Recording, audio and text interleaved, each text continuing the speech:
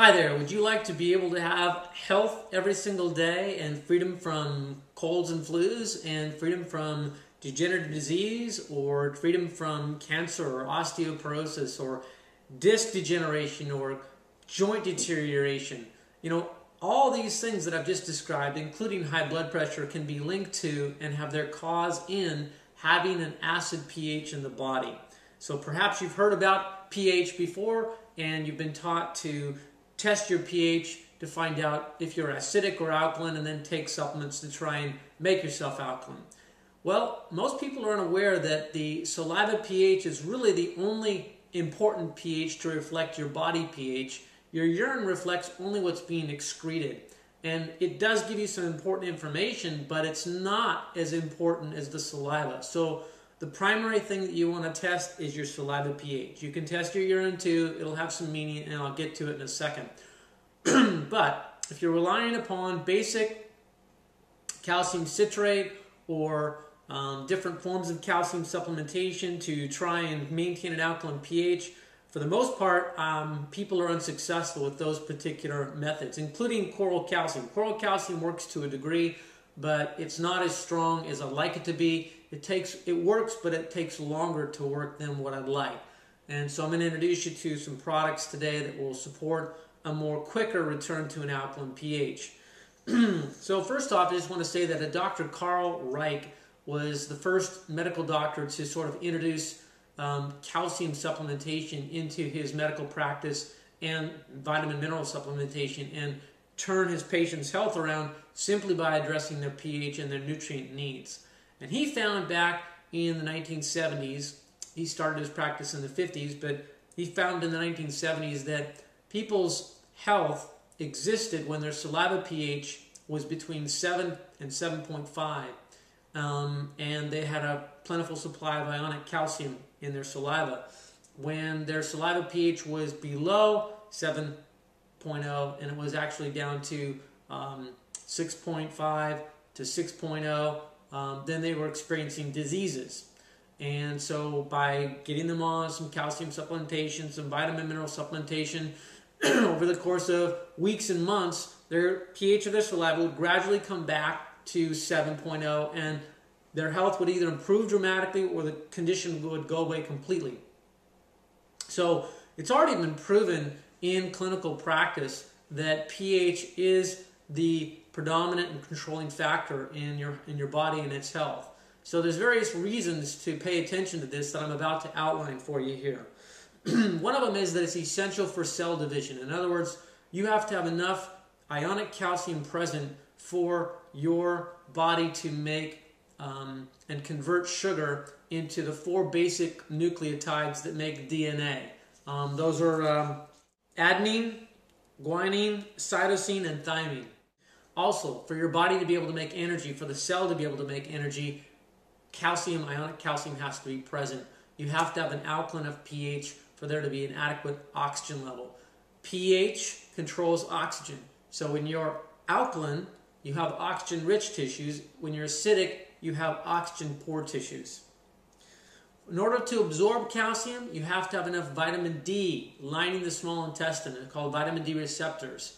And most people are aware that vitamin D is a sunshine vitamin, so you can get it if you're in the sun enough. Most people are not in the sun enough. It needs you need at least two hours exposure in the sun during the daytime, not at sunrise or sunset, but during the day in order to get enough vitamin D production on your skin. And then you would need more of your body exposed than just your arms and your face.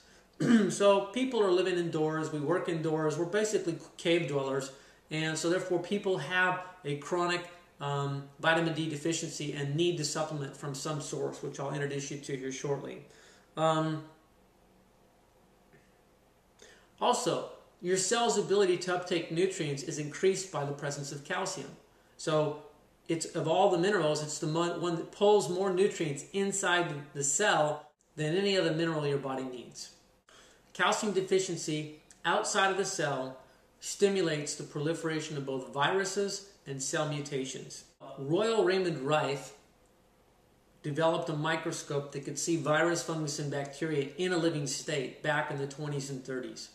And with his powerful microscope and his many, many hours and years of research, he documented and proved that no infectious process, no virus, no fungus, and no bacterial infectious process could occur in a neutral pH of 7. Now, you've never heard that in television news. You've never heard that or read that in um, news publications and or magazines. And yet it should be known by everyone because what that means is that you could be exposed to any organism that has the potential for creating an infection in your body.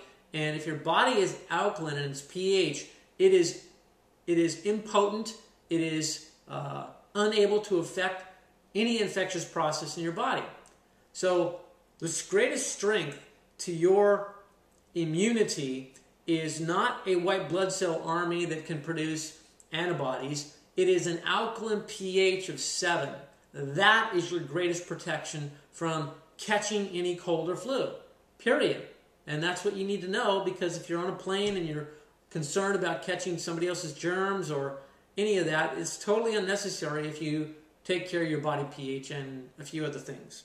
Also, many times people say they have a thyroid, low thyroid function, um, they have the deficiency of insulin production, a tendency to diabetes, they have low adrenal hormone production, um, uh, and these things can also be connected back to your pH of your body because the pH determines hormone secretion, hormone uptake, and um, therefore therefore blood sugar levels. In other words, the absorption of insulin, the absorption of glucose into the cells is all pH dependent. The level of thyroid hormone, the level of adrenal hormone, all these things are dependent upon an alkaline pH. If they're not alkaline, then you will have a your glands struggling to produce their hormones and your cells struggling to absorb what the hormones are supposed to do. From 1950 to 1990, there's approximately 7,000 studies that have been done to document the positive broad spectrum effects of calcium in the body. And again, I said pH controls oxygen levels. Dr. Otto Warburg discovered back in the late 1920s how cells breathe, how they use oxygen, and he also discovered how cancer is made. And he very conclusively proved that once tissue oxygen levels decline by 40% or more, normal cells have to convert over to an alternative method of making energy in the absence of oxygen and they become tumor cells.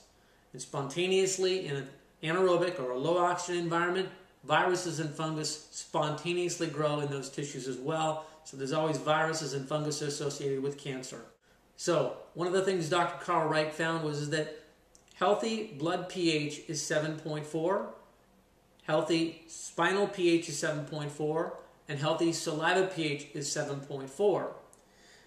that when the outside of your cells pH is 7.4 and the inside of the cell's pH is 7.4, the inside of the cell will metabolize all of the nutrients and create metabolic wastes and acids, and its pH will drop down to 6.6.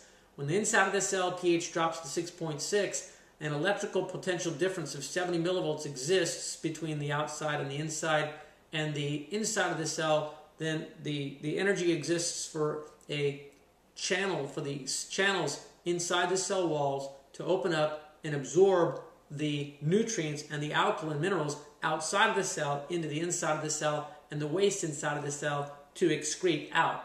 And then this 6.6 intracellular pH raises to the 7.4 uh, pH and the balance is restored. And this cycle keeps repeating itself. And this is how nutrients are absorbed, this is how energy is made. And when your outside cell pH drops below 7.4 and it goes to say 6.8, then the inside cell pH has to drop far below 6.6. It has to go perhaps to 6.0 in order for there to be an electrical voltage creation and therefore an energy difference so that the cell channels open up and absorb nutrients. And when the cell intracellular pH drops too acidic, the oxygen levels drop too low, then it chronically makes acids and renders the cell oxygen poor. And then again, the cell, in the absence of enough oxygen, transforms itself into an alternate method of making energy. And when it's done that transformation, it is now called a tumor cell.